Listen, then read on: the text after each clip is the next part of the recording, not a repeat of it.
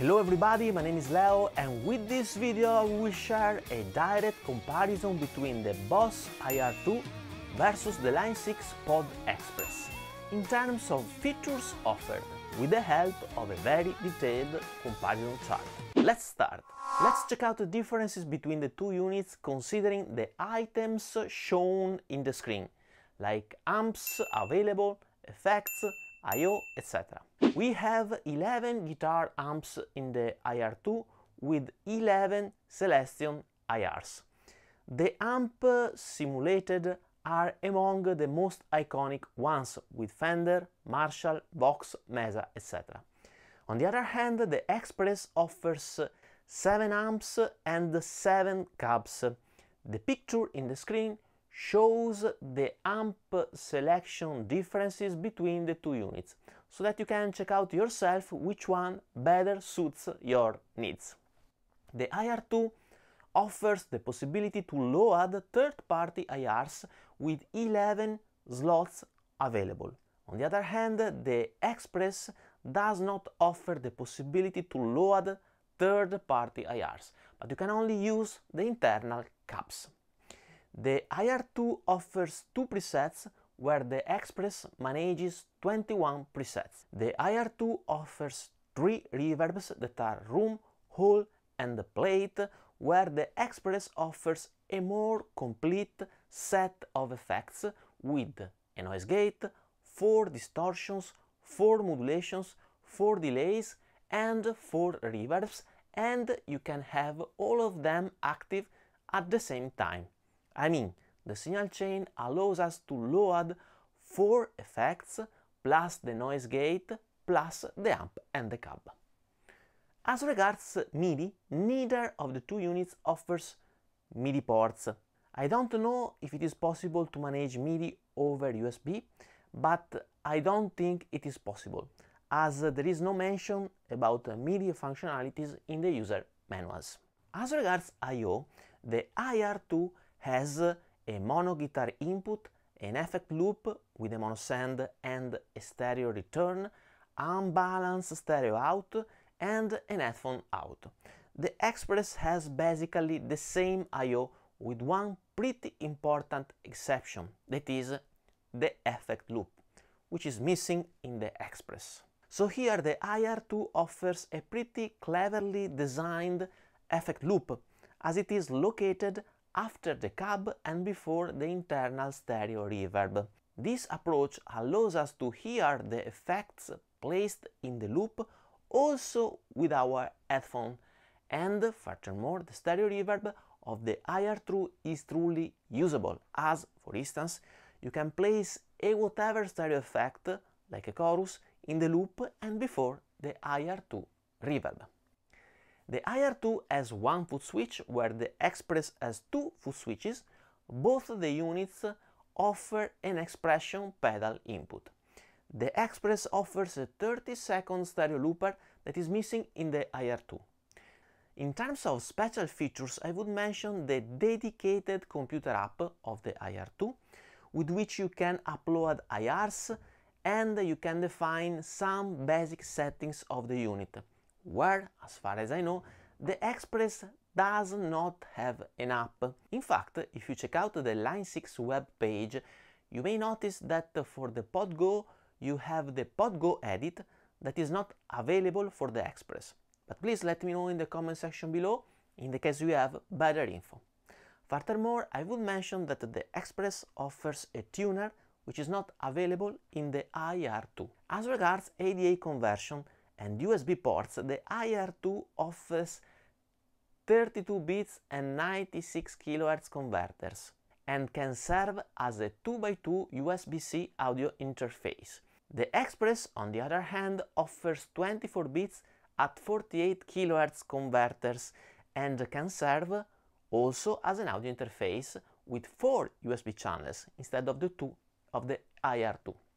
Therefore here the Boss offers a higher conversion frequency where the Express offers more USB ports. Obviously, it is up to you to decide which option you prefer.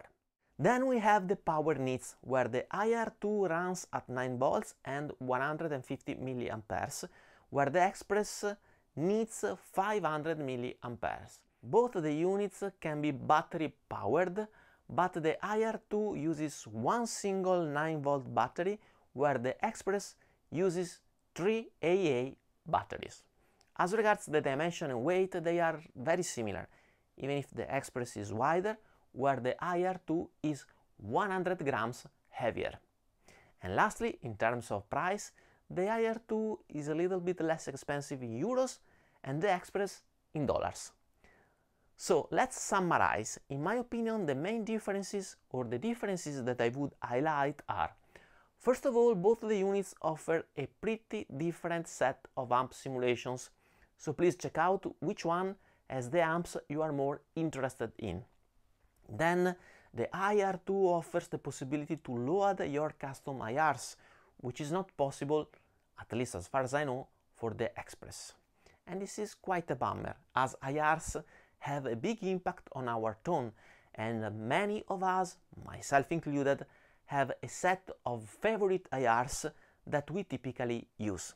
Then I would mention the bigger selection of effects offered by the Express, with distortions, delays, reverbs and modulations, where the IR2 offers just a reverb. On the other hand, the IR2 has an effect loop that lets us integrate the unit with other effect pedals, uh, which is more difficult for the Express not having a loop. With the IR2 we can for instance place a stereo chorus before the IR2 stereo reverb, where with the Express we cannot place any effect in the middle of the chain. Let's say our favorite modulation before the Express delay.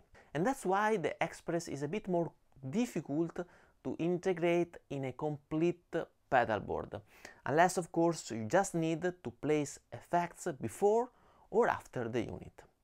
Then we have the looper and the tuner that are not available in the IR2, that on the other hand offers a computer app, even if pretty limited, but still useful to set up the unit. Lastly, I would mention the 4 USB channels available in the Express, where the IR2 offers just 2 channels. Please let me know if there is something wrong or there are other differences that I didn't mention and that are important for you, so that uh, together we can enrich this comparison and help other guitarists who are unsure which unit to buy. Let's now jump to our final considerations. Final considerations here, and let me say that uh, it seems like uh, Line 6 has checked out uh, the IR2 making this consideration. Okay, I will do it differently. I mean, try to differentiate the two units with many different choices.